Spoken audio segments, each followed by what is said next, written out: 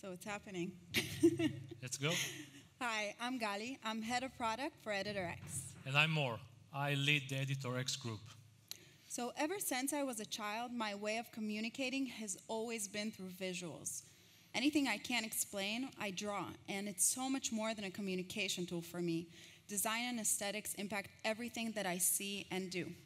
And before leading the product for Editor X, I was actually managing UX and design teams. So it's been a dream of mine to be on this side of the fence, creating the exact product I would have wanted to use as a designer.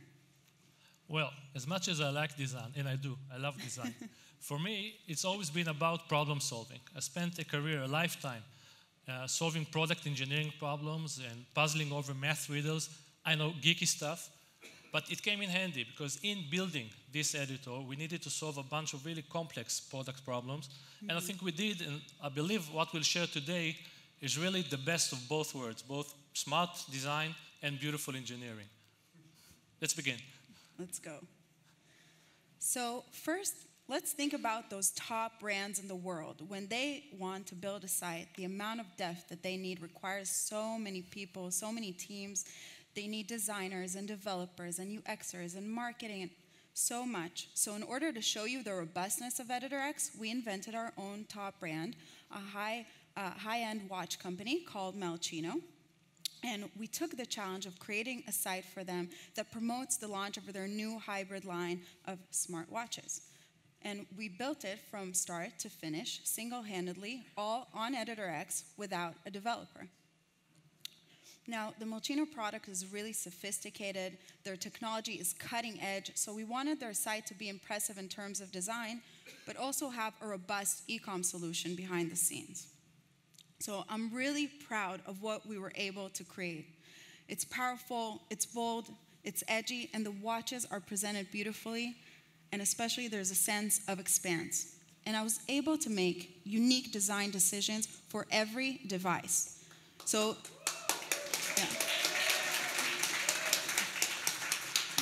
So this is how it looks on desktop, but let's see the mobile side. Cool. so I so I had this design in mind and I achieved exactly the vision that I had. So Mor, let's go to the editor and show how we did it. Let's show the editor. So this is the same Malchino website within Editor X. Let's take a second and examine the workspace, study it a little bit. First thing you'll notice is the expanse, how we cleared away all obstacles and left the canvas really clear for the creative process. As you need them, you'll pull in, you'll slide in really panels for functionality. This, for example, we call the inspector panel, is where you uh, define all your uh, responsive layout behaviors, sizes, etc. Um, to experience this single website in a variety of device types and viewport sizes, you use the resize handles, as Gali is doing now.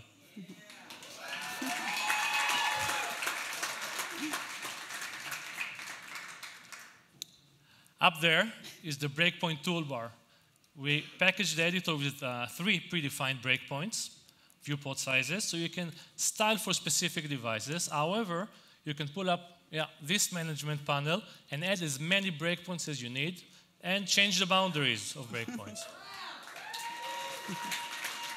so there will be a lot going on about breakpoints in today's presentations because I think we did something super unique here we managed to package and abstract away these technicalities of CSS media queries, but still keep complete freedom at your hands. So that's really amazing. I'm really able to design anything that I want on any device that I want. Let's take a look at this third fold with the giant typography. So there are a lot of designers here. We take typography very seriously.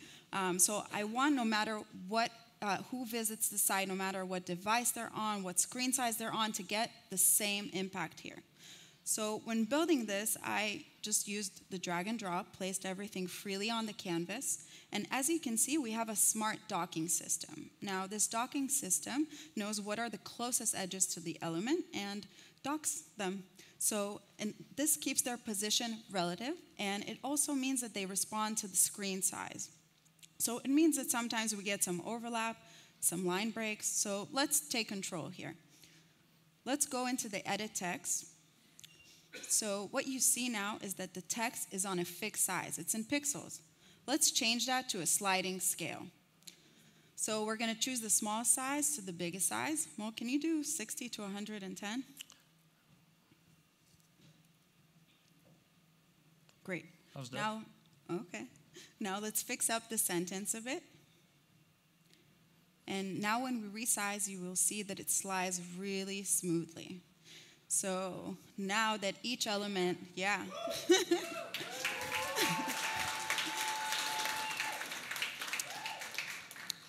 so now that each element looks great on their own, let's make a relationship between them and get the spacing right. So we're going to select both elements and stack them. Stacking them puts them in a flex box, which knows what elements are inside of it and in what order to push them. Yeah, very cool. And now when we go to tablet, what you will see is that we chose a cascading approach, which means all the decisions we've made on desktop cascade down. Now, what if on mobile I want something different? So here I wanna I wanna give it a more contrast. Mor, can you try to think like a designer? You heard a lot of designers today. Maybe maybe you can uh, choose a better color here. What would Gali do? Let's think. Let's see your skills. That? Uh, Oh. Try another one. Let's go with white so we get a really strong contrast here. Okay. Does this pop? Yeah, well, now it pops. Perfect. So let's go back to desktop and see cascading in action. So what you see that all the decisions we've done on mobile have not affected decisions we've already made on desktop. So let's go into the technology in the core of the product. Mor, I think you should do this one. I can try. So this next fold in the story, the Malchino website, we used the Editor X layouter. Layouter is what we, uh, what we call our packaging for Flexbox, actually another smart way we package Flexbox technology. Now Flex, you guys know, has been around CSS for quite some time and always get a little bit uh, too complex or too intricate to get right. So we packaged it and made it super accessible for you. Let's see it in action. So this fold has five main items, right? The main image, the secondary image, the main title, etc. And this makes it an ideal situation for flex layouting because you're happy for these items, independent items, to float around each other. And as you can see, as we resize the canvas, layout layouter always solves it very well. So we always have a good layout for the behaviors between the items.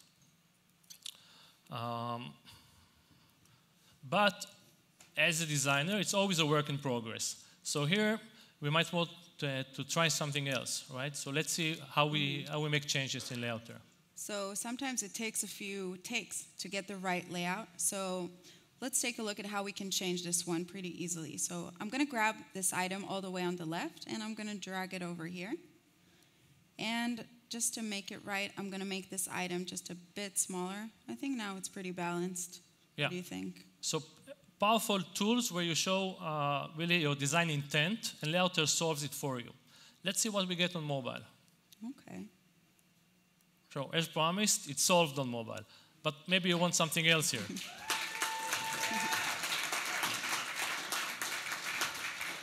so they, they seem to like it. Maybe I shouldn't change it? No. Let's move so, on. No. so I'm actually going to go into, as you can see, the main image is not so main anymore. I want to make it bigger. So I'm going to go into manage layout. And I'm going to select a very common layout for, uh, for mobile. I'm going to choose a one column. Yeah, and now, now it looks good. Even I can see the difference.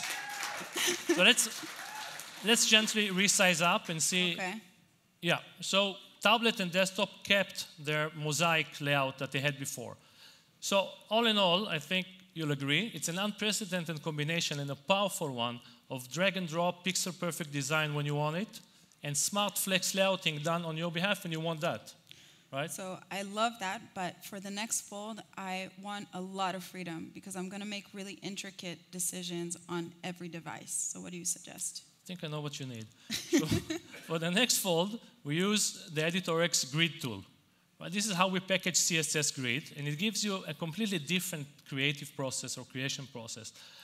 In a nutshell, CSS grid is a two-dimensional framework like uh, you throw on your canvas and gives you precise control over where components drop, dock, and float around each other. right? So let's see it in action. Okay. So this next fold, we're kind of joining mid-design. We skipped some stages. Gali has already added this stack on the left. You remember stack, and the title in the middle is rotated. That's good. To complete it, we need to throw in uh, three images. But first of all, we'll carve out the space. We'll throw in a grid, right? Yeah. So apply grid gives you very sensible presets, but we'll go with a custom now, custom grid of three columns by two rows. Thank you. You can see the thin white lines denoting where uh, your framework is. This is your two-dimensional grid. Let's go into edit grid. So edit grid is all other mode of Editor X, where you get to do your advanced uh, design decision, very granular decisions over sizes and uh, CSS. You can add and remove columns, you can reorder stuff, uh, and you can size columns with uh, the full gamut of CSS units for sizing. Everything is, is available. What we'll do here is pick a 2FR unit, a fraction of 2. In effect, the right-hand column will always be half of the section. You can also see Gali resizing the bottom row using a drag handle to make it smaller than the top row. This is what makes sense for our design now. So we're done. We have our CSS grid defined, and we're ready to add the media. The first and main media will go into, in, into the right-hand side, and we'll cover the grid area of the two right-hand columns. We'll use this handy shortcut to stretch the image, like so, and now it always covers this grid area. now, the text got hidden. Do you want to fix that? Yeah, sure. It Okay. always happens. Uh, so let's see what we got. As we resize, okay, wait. What we want to do here is to have the image always crop the same way. We want the same area, interesting area of the image, to always show in the same place in every viewport. So let's pull up the focal point tool. Using the focal point tool, but wait, you can make sure the image focuses always, well, on the nose. Wait, let me find Can you the hit the nose nose? here. Okay, we got it. And now we resize. It's on its best behavior in every viewport. so we're, we're almost done, right? Yes. We have two smaller images to add here, the two small watch image- images. And what we want, the effect we're going for here, is for the two images to float freely in the canvas but never overlap. So what you'll see Gali doing is drop each one of the images into its own, its own grid cell and dock it to a grid line, thereby guaranteeing that with the movement they never overlap. Very nice.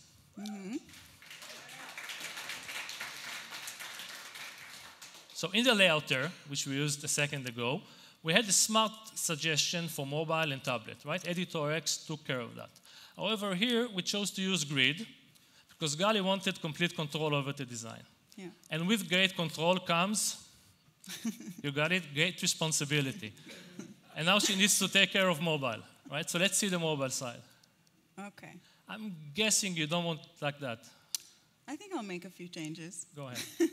So, as designers, we are always expected to create magic no matter what the brief is. So, I feel like this is really amazing because the boundaries are gone. You can really do whatever you want here. So, I'm going to show you a few things. Uh, I'm going to change this complete layout. I'll start with unstretching this image. And I'm also going to hide these two images I don't want to display on mobile. Here we go.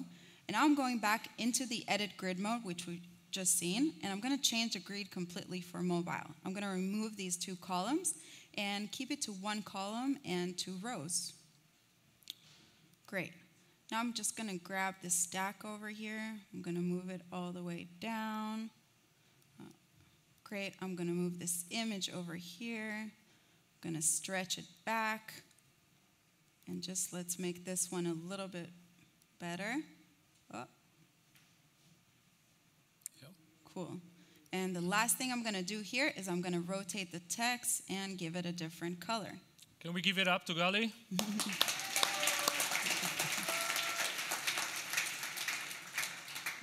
not, not many people can design live and narrate their work. That was, I'm in awe. Not nerve wracking at all. That's good. So there's one website, and there is a com- completely different art directions for all the view for all the breakpoints. In fact, there's a, all other uh, CSS grid for mobile, right? So Yeah. complete freedom here. So so much complexity going on under the hood. There was so much CSS, HTML created during this demonstration, and uh, all this power, and you never had to worry about it. This this power combination makes this my favorite feature of the editor. I get that. so, talking about favorite features, I would love to share mine. Oh yeah. Yeah. I'll go there. Okay. so for the next fold, I want to introduce to you the Wix design system. So Wix has over 170 million users. It's a great way for us to grab data and learn what layouts people need, what designs are trending. We've taken all that wisdom and with our best designers, we've created a huge selection of pre-designed sections and they come in tons of variety. We have welcome and about and services, so many, and they all come in the color palette of your site. Now, this really helps in the design process in a few ways, actually. The first one is design inspiration. The second one is layout blueprint. You can grab anything from simple to complex, anything you like, drop it on stage, and see how we built it, take it apart, do it on your own. And lastly, for bootstrapping our process. Great. So, so this one is a great example of how you can use many layouting tools at once. This is actually a layouter with a grid inside of it with a stack inside of that. So you can get really complex. And the real thing that I love so much about this is that it comes with built-in responsive behavior for every breakpoint. Yeah. Well, what do you think? I like it.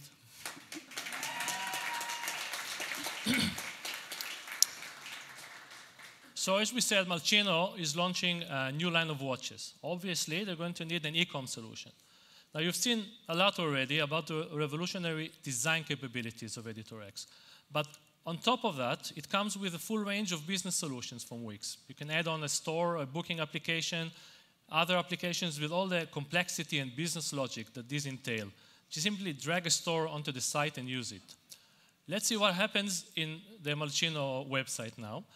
This fold is a watch collection. Really, we're trying to show off the watch inventory, right? So how, how we went about this is we went to Business Manager and created a database of watches, right? All the prices, images, uh, descriptions, etc. are there. Let's go back to the website. Now we took this data set and bound it to a repeater. This is an extremely powerful dynamic website building mechanism where you define and design as freely as you want a single item, and the repeater, well, it repeats, right? So as you data bound your data set to this repeater, you have your watch collection designed. So that's, that's already a lot of power. In Editor X, what happens is this, this is combined with the flex smart layouting that you've seen just a second ago. And let's see what we get. In the desktop, the watch collection is a card layout with three columns, right? So let's resize. Stop. It's a two column layout, right? Out of the box. But wait, in mobile, as you resize, it will be a, A slider. it's a slider.